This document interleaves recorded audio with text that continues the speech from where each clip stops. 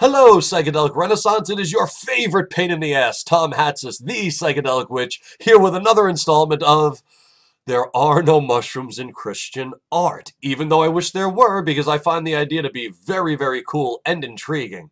You know the hypothesis. There are some out there who believe that medieval artists secretly, and sometimes not so secretly, painted mushrooms in their frescoes, their mosaics, their illuminated manuscripts.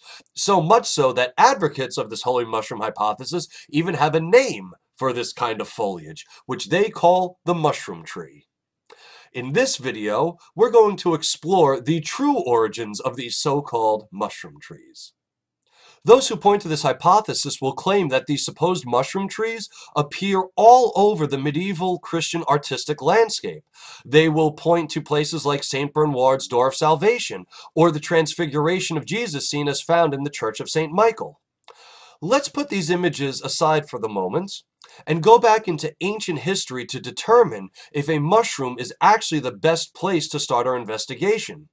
Indeed, it seems as if there is another symbol used throughout history that might provide a better source for the origin of these interesting looking trees. And that origin is the Assyrian parasol of victory.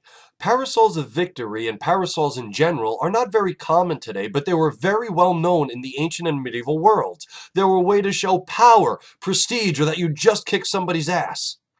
Now take a moment and notice in these images the nub at the top of the parasols and the tassels at the bottom or the lines that would indicate where tassels would be.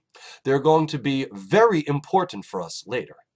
From Assyria, the parasol of victory made its way onto Herodian coinage, as we see here, which makes a lot of sense because the Herodians were a bunch of power-hungry douchebags. From there, it made its way into Rome, and then even after the fall of the Western Empire, the parasol of victory still made its way as a symbol into Christian Europe, as we see here with this 1247 rendition of Constantine and Saint Sylvester.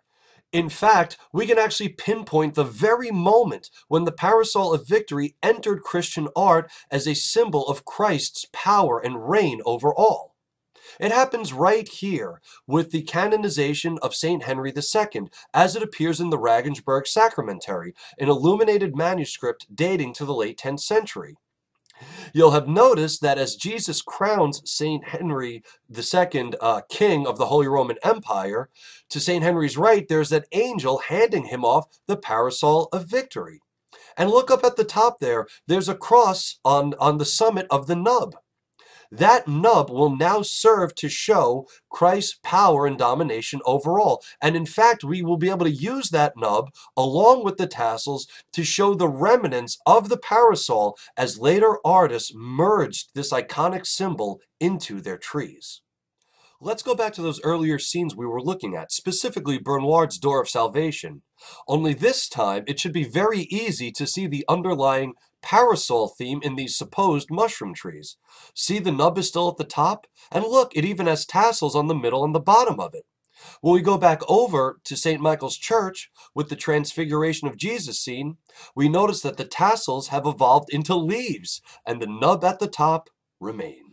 Even more interesting is that these parasol trees turn up in another manuscript dating to the 1490s. Now, I've been unable to get my hands on this manuscript, but another fellow named C.F. Gordon Cummings was able to in the late 1800s, and in his own work reproduced some of the interesting looking trees he saw, which he dubs the tree-shaped umbrella, the very kind of tree a holy mushroom advocate would confuse for the Amanita muscaria mushroom. I mean, look, it even has the spots at the top. Another really interesting place that the Parasol of Victory shows up in Christian art is in the famous Canterbury Psalter. These plants are often confused for mushrooms, but look at this one to God's right-hand side. I mean, you could still see the nub at the top and the tassels. And this red one here that is always confused for a Amanita muscaria mushroom, well, just look inside. You can see that those aren't really mushrooms, they're parasols. They still have the nub at the top and the tassels at the bottom we are looking at nothing more than a medieval artistic trend that started in the late 10th century and was fully formed by the 13th when it became just artistically fashionable to depict trees in this parasol shape. And how do we know this was an artistic trend and not some secret mushroom cover-up? Well, because these same parasol trees appear in secular and non-devotional works. In another video, I unpacked this folio 27V from MS Bodleian 602. And now I should say there was a time in my life when I believed this was an Amanita muscaria mushroom, but we can see that it still has the parasol top, a little bit of the tassels hanging off the sides there, and of course, the nub at the summit. There's also from this same manuscript, MS Bodleian 602, sorry, uh, folio 14R. Here we can very clearly see the parasol top and the evolution of the tassels into leaves. So this, I contend, is the true origin of the so-called mushroom trees. They're really parasol trees. And unlike the holy mushroom hypothesis and accompanying art claim for which there is no corroborating evidence anywhere in history, we have tons of corroborating evidence for the parasol as both a symbol of power and its depictions as a symbol of power in both ancient and medieval art.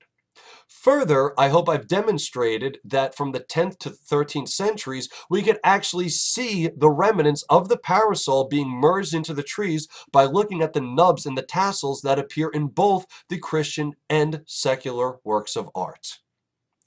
Well, that's all I have for you this time. I thank you all so much for stopping by. I'm hoping this video will spark a conversation. And until that day, I'm Tom Hatsis, your psychedelic witch, saying peace.